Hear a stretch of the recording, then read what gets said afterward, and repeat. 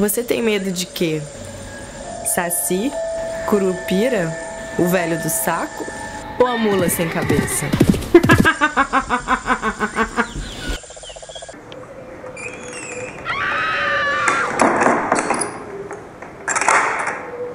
Hello, peoples do meu Brasil. Hoje, na verdade, eu vou fazer um vídeo, coitado, que ele foi muito odiado. Esse vídeo, ele na verdade não era pra estar no Panda Horror Show. Mas por motivos de Tatiana tá fugida de tempo legal, eu acabei tendo que levar esse vídeo pro Panda Horror Show. Eu vou falar do cinema de Weimar, vou, vou falar de três filmes especificamente, mas eu queria falar de uma coisa que geralmente não é muito falada quando a gente fala de expressionismo alemão, porque o expressionismo alemão ele é uma vanguarda do final do século XIX. Eu também não sou uma grande conhecedora do cinema do Caralho 4 da República de Weimar, eu conheço, e principalmente não desse cinema da República de Weimar, eu tenho mais contato com o cinema da nova objetividade, expressionismo alemão, porque eu vou falar do que? Do terror em Weimar na real, na real, não era muito um terror, assim, não era feito para ser, não eram feitos para serem filmes de terror e tal. Eu acho que é um gênero que hoje em dia a gente vê como terror, mas eu não sei se eles eram enquadrados à época como terror, isso é uma pesquisa muito mais extensa.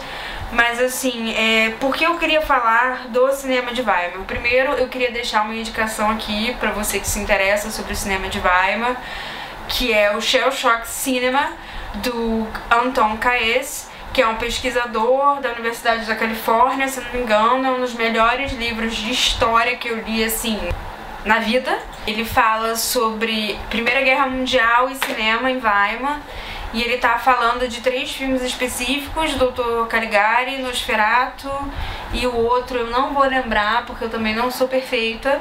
Esses filmes eles falam de eventos que não são representáveis pela linguagem, então você acaba encontrando a recuperação dos eventos de outra maneira. Ele tá falando basicamente de trauma de inconsciente na República de Weimar e isso é muito foda. Ah, a definição que eu encontrei de expressionismo alemão foi influenciados por Nietzsche pela teoria do inconsciente de Freud, os artistas alemães fizeram a arte ultrapassar os limites da realidade lá, lá, lá, lá, para expressar a subjetividade. Assim, eu tenho várias, eu tenho algumas críticas a essa a maneira como isso é colocado. Primeiro, porque inconsciente é inconsciente. Cinco, se as coisas existissem no consciente para se tornarem inconscientes, Freud teria nomeado isso de pré-consciente e não de inconsciente. Significa que no inconsciente inconsciente, a gente tem as nossas pulsões, a gente tem tudo aquilo que não é nítido pra gente e que nunca se torna consciente, tá? E se isso da expressão, da arte, da pura subjetividade fosse verdade, a arte ela seria um, um, um exercício permanentemente, puramente egoísta, ela não teria laços com a realidade, o que é impossível porque nós somos seres sociais, a gente de alguma forma sempre se relaciona com a realidade. E eu tenho alguns problemas com as definições de expressionismo é, dentro do dos trabalhos que eu já vi, tá? Porque também eu não vi todos os trabalhos do mundo dentro do audiovisual, né? Ainda não tenho tempo para isso na vida. Eu vou falar dessa perspectiva do Caes e qual é a perspectiva do Caes? Assim, hoje em dia a gente não tem noção do que foi a Primeira Guerra Mundial, mas a Primeira Guerra Mundial foi um corte com a realidade. Porque o mais curioso é que a Primeira Guerra Mundial é uma guerra para restaurar a ordem anterior, mas ela acaba ou para salvar salvaguardar a civilização como ela era à época e ela acaba destruindo essa civilização. Então, assim, e, e principalmente em países como a Alemanha, que foi a grande perdedora da Primeira Guerra Mundial, você tem uma questão com trauma que ele ultrapassa a linguagem. O trauma em si só, ele já é algo que ultrapassa a linguagem. Em teoria, você não tem como representar o trauma dentro da linguagem, porque o trauma não é nem mesmo um evento. O trauma é a sua reação ao evento. Tem tem umas definições assim meio loucas de trauma e tal. E aí o Caís ele fala o seguinte: essa galera não tava falando de guerra. De maneira alguma essa galera tava falando de guerra, mas de alguma forma a guerra está representada nesses filmes. E eu para isso escolhi três filmes, eu acabei escolhendo um filme que eu nunca tinha visto, mas aí eu achei o primeiro filme que eu vou falar aqui, Van Morgen bis Mitternacht que é da Aurora à meia-noite. E todos esses filmes que eu tô falando aqui, eles têm no YouTube legendado, tá? Muito embora, assim, entendam, nós estamos falando de filmes da década de 20, então a gente tá falando de cinema mudo e cinema preto e branco. E o que eu acho mais curioso nessa tese do Caes, que é a ideia do inconsciente traumático e silencioso da guerra, é que você tem um cinema em preto e branco. Então, a, a noção de cor e de luz, elas estão interligadas, porque você não tinha como representar a cor. Então você tinha que fazer essa representação de alguma outra forma. E curiosíssimos os cenários. Eu achei assim, eu fiquei apaixonada da Aurora à meia-noite, porque ela tem uns cenários maravilhosos. E vocês vão entender por que, que eu tô falando de guerra e tô falando de trauma depois que eu começar a descrever aqui. A história, o filme é do, do Karl Heinz Martin e é a história de um bancário que tem a sua vida virada do avesso após a visita de uma sedutora madame italiana. E cansado da sua rotina, ele resolve roubar um banco, mas ele é atormentado pela sua consciência. Ele é baseado em uma peça teatral do Georg Kaiser e o Georg Kaiser também fez o roteiro, tá? E essa peça ela foi escrita entre 1912 e 1915. A guerra é de 1914, tá? Em 1915 ele já tinha uma noção das baixas da guerra. Era muito difícil você ser de um dos países que estava dentro da guerra e, e, não ter perdido alguém na guerra ou não ter morrido na guerra, né? Mas aí se você morreu na guerra não dá pra fazer filme em 1920. Esse filme ele é muito curioso porque ele tem uma história super aleatória, né? De, em relação à guerra. Mas ele é produzido em 1920, ao final da guerra, ele é produzido entre 1918 e 1919, vai estreia em 1920, e ele não tem nada a ver com guerra, mas a consciência do cara, ela tem toda uma representação da morte. Porque a morte, ela é, a verdade, a morte ela é uma figurinha carimbada durante os anos de Weimar, tá? E várias vezes ele tem uns espíritos que não o abandonam. E isso pra mim é porque a morte circunda. A morte ela está sempre presente. E ao mesmo tempo essa ideia da virada essa virada assim do tipo, ah, eu tô cansada dessa minha, dessa minha vida, isso tem muito a ver com a, com a República de Weimar, porque as coisas perderam o sentido. Quantas milhões de pessoas morreram na guerra para absolutamente nada? Então a galera tava muito nessa vibe de não há outro dia. Entendeu? O amanhã pode não chegar. A morte, ela era uma figura muito presente. Então o que eu tô tentando dizer aqui pra vocês é que por mais aleatórios que sejam os enredos dos filmes, na verdade, Várias das representações têm a ver com a Primeira Guerra Mundial. E, com, e aí que entra a história do inconsciente. Os caras não estão tentando representar o inconsciente no expressionismo alemão, mas eles estão dando outras margens de representação. Por exemplo, você tem um filme que você está falando que o cara vai roubar um banco e ele tem várias, assim, as casas, os cenários, eles são distorcidos. Porque você está tentando representar estados emocionais. Isso eu posso concordar. Você tenta representar na arte estados emocionais. Isso é muito foda. Só que esses estados emocionais, eles não são necessariamente percebidos conscientemente. Então você tem uma fotografia que ela privilegia o escuro, tanto é que você vê hoje em dia, né, que as figuras, as fotos, o próprio filme ele passou por um processo de, de melhoramento digital tal. Você consegue perceber a maquiagem e na realidade a galera tá toda representada como se eles fossem mortos-vivos. Da Aurora à Meia-Noite, ele não foi feito para ser um filme de terror, ele na verdade tá tentando representar ele está tentando representar a consciência humana e como ela funciona. Só que ele acaba se transformando em um filme de terror porque ele tem toda uma linguagem que nos remete hoje em dia a um filme de terror. A Primeira Guerra Mundial mudou a relação entre luto, morte e política. E principalmente a morte ela passou, ela deixou de ser uma experiência privada para se tornar uma experiência comunal. Então, assim, o que o Caí está tentando dizer nesse livro e que eu ouvi muito nesse filme, que não é um filme que, sobre o qual ele fala, é que essa linguagem é uma linguagem comum. As pessoas entendiam essa linguagem inconscientemente. O próximo filme do qual eu vou falar é o Nosferatu, uma sinfonia de horrores. Em alemão, esse filme. é muito foda. De horrores. Em alemão, Nosferatu, eine Sinfonie des Grannens que é do grande cineasta do período, que é o Friedrich Murnau, que é uma adaptação de Drácula. Nosferatu é uma adaptação de Drácula, que tem outros nomes e outros lugares, porque os herdeiros não concederam os direitos. E esse filme ele tem uma refilmagem, que é Nosferatu Phantom du Nacht, que eu acho que não tem tradução para o português o título, porque eu acho que ele nunca foi lançado aqui, em 1979, o, o Werner Herzog. E ele, ele tinha o ator muso dele, né, que eles sempre caíam no pau, era maravilhoso isso. E o Nosferatu ele conta a história do Conde Orlok, que é o vampiro dos Montes Cárpatos, que se apaixona pela Ellen e ele acaba trazendo a peste para Virborg, que é a cidade da Ellen. É a história de Drácula, mas com outros nomes e outros lugares. E esse filme é um filme que o Caes analisa e eu acho incrível como ele fala que é essa relação justamente do zumbi, novamente a gente tem uma relação da morte. O vampiro, gente, o vampiro era uma figurinha carimbada carimbada na República de Weimar.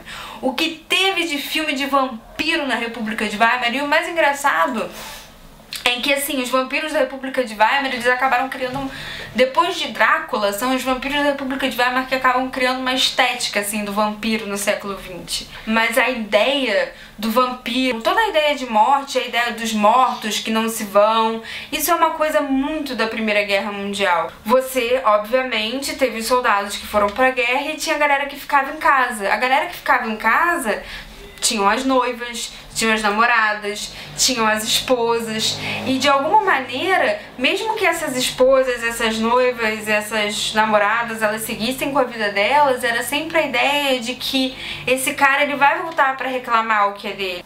Então ele fala como Nosferato, na verdade, ele está falando da, da, da, situação que as mulheres viviam durante a República de Weimar, depois da guerra e durante a guerra.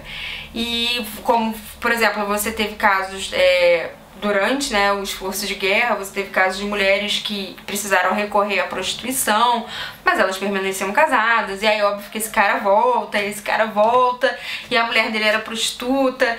Então, assim, ele tá, ele é um filme de vampiro, ele é um filme de vampiro, mas o que o cara está chamando a atenção é como que inconscientemente você tá colocando diversos problemas que a guerra traz na tela. Você tá falando de uma história de vampiro, mas tu tá falando de Primeira Guerra Mundial. Um beijo no seu coração. E o Albin Grau, que é o produtor, ele faz, ele decide que ele vai produzir o filme. Foi o único filme produzido pela produtora dele no ano, né, em 1919, foi Nosferatu, e ele decide que ele vai produzir esse filme por conta da experiência dele na guerra. Parece que ele serviu numa aldeia francesa, né? Ele ficou acampado numa aldeia francesa e rezavam, né, diziam os residentes que os soldados voltavam. Os soldados mortos no fronte voltavam não para assombrar, mas eles voltavam para reclamar a vida dos vivos. Né? A gente tá, gente, a gente tá no início do século 20, é uma galera rural assim, rural real.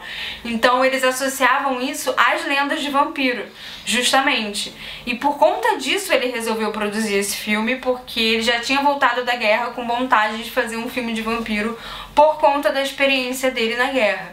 Isso assim, só para vocês terem uma noção, Vários dos soldados que morreram na Primeira Guerra Mundial nem chegaram a ter túmulos. Eu sei de um pelotão de, australianos que morreram e assim, a gente está falando novamente de áreas rurais, então é terra, terra real.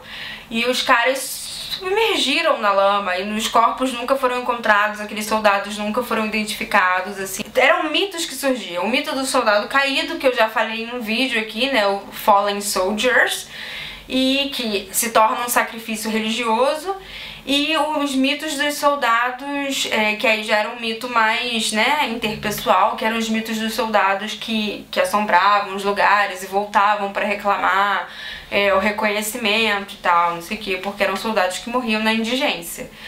É, e, e, tinha uma, aconteciam umas coisas muito bizarras, assim, durante a guerra. É, muitos corpos de soldados não eram recolhidos porque esses corpos eram marcações geográficas. Na terra de ninguém, né, No Man's Land, que era, digamos assim, uma terra em que você não podia ser atacado ou atacar. É, tanto é que tem uma, uma, anedota bonitinha da Primeira Guerra Mundial, que é no Natal, que soldados alemães e, e britânicos saem das, das trincheiras e comemoram o Natal juntos. Foi na No Man's Land, né, na Terra de Ninguém. E assim, dizem, dizem as más línguas que essa No Man's Land é, ela é assombrada até hoje, ela é rondada por soldados. E muitos desses filmes, eles mexem com esse inconsciente justamente porque só tem a noção do que foi a guerra o soldado que foi a guerra. E para falar o último filme, que é o mais famoso, sem dúvida, que é o Gabinete do Dr. Caligari, das Gabinetes do Dr. Caligari, de 1920, do Robert Wiene, que também é um dos cineastas mais famosos da República de Weimar. Eu acho essa história incrível, porque ela foi escrita pelo, pelo Karl Mayer, que é o roteirista, ele lutou na Primeira Guerra Mundial e é a experiência dele internado em um hospício que faz escrever o roteiro. Eu acho que eu falo em algum desses vídeos parados pela vida do Pandamônio que no fronte da Primeira Guerra Mundial a Alemanha foi o primeiro país a ter um grupo de psiquiatras para lidar com os soldados no fronte, que esses, esses soldados muitas vezes eram afastados e considerados inaptos né, para o serviço no fronte, justamente porque eles estavam muito traumatizados. Muita gente, muito artista da República de Weimar, como por exemplo Georg Grutz, que é um dos maiores é, ilustradores e, e enfim, é, pintores da República de Weimar. E basicamente essas gravuras estão falando do trauma da guerra. E qual é a história do Dr. Caligari? A história do Dr. Caligari qual é? Chega o Dr. Caligari numa cidade e o cara, que é um, um mágico que hipnotiza as pessoas e tal, acompanhado de um cara que em teoria está dormindo há 25 anos. Ele é um sonâmbulo que dorme há 25 anos. O filme, ele não é contado linearmente. Esse filme ele é contado a partir de flashbacks. E o flashback já é uma memória que é impossível de colocar em linguagem. É, tanto é que a ideia do trauma é que você não consegue colocar o trauma em linguagem porque ele não é consciente, o trauma ele permanece no seu inconsciente. Em teoria, o trauma não é o evento, não é o evento que é traumático, é a sua reação ao evento que é traumática. E pode ser um evento, como pode ser dar uma topada. A gente usa evento como palavra bonita. Mas assim, o Dr. Caligari é um dos filmes mais paradigma da República de Weimar e o Caelis analisa esse, esse filme e eu acho incrível como ele trabalha essa ideia de que o flashback, ela já é uma memória que ela é impossível de colocar em linguagem e ela é traumática por si só. Eu não posso muito me estender, porque senão eu vou acabar contando o filme e ele perde a graça. E é um filme muito bom. Todos esses três filmes que eu tô falando, gente, é um filme mudo, é um filme preto e branco, é um filme alemão, mas tem legendado no YouTube, são filmes maravilhosos, assim. Eles definiram a estética do século XX para muita coisa. Esses caras conseguiram uma, criar uma atmosfera que o Caes diz que é uma atmosfera que era uma atmosfera que permeava a República de Weimar inteira, que é o inconsciente silencioso e traumático da guerra. Porque você não fala de guerra, mas a guerra está ali. Essa é a questão do inconsciente. É um cara contando a história e ele é feito por meio de flashbacks. Esse cara ele tá internado. Ele tá internado num hospício. O cara do Dr. Caligari, ele tá internado no hospício e ele tá contando a história dele. E assim, ele tem um plot twist no final e tal, não sei o quê. E eu recomendo muito esses filmes, eu espero que vocês tenham gostado das explicações que eu dei aqui, eu espero que seja útil para a vida de vocês em algum momento, em algum sentido, é porque eu acho muito incrível é, como os eventos e tal, podia ser, no meu caso, a Primeira Guerra Mundial, porque é o que eu estudo, mas enfim, como a própria guerra do Vietnã está em quase tudo que os norte-americanos produziram durante a década de 70. Mas eu acho que é incrível a gente perceber como o terror, o suspense, o thriller, o zumbi que surgiu, é, é Todos eles têm ligação com um evento que modificou a maneira como a gente vê a morte e como a gente lida com o luto, né? Modificou, como a Primeira Guerra Mundial modificou como o século XX lida com a morte, até mesmo em termos de morte em massa. Então ela modifica a maneira como a gente vê a morte. E eu acho que é um fio condutor do nosso Panda Horror Show, por isso que assim, eu acho que nem ficou tão despropositado assim, como várias dessas lendas que a gente escuta, como várias dessas historinhas que a gente que a gente toma como histórias de terror, como sobrenaturais, elas têm um fundo de verdade, é uma coisa meio freudiana, assim, como a gente falou até num vídeo do Velho do Saco, que o Velho do Saco na verdade é uma historinha para as crianças terem medo de mendigo, né? Então, o cinema de Weimar, que é um cinema que determina uma estética de terror no século XX, é um cinema que, é, que bebe do inconsciente traumático da guerra. Tá? terminei o momento historiadora, me despedindo aqui, espero que vocês gostem do vídeo. Beijo e por favor continuem assistindo o nosso Panda Horror Show.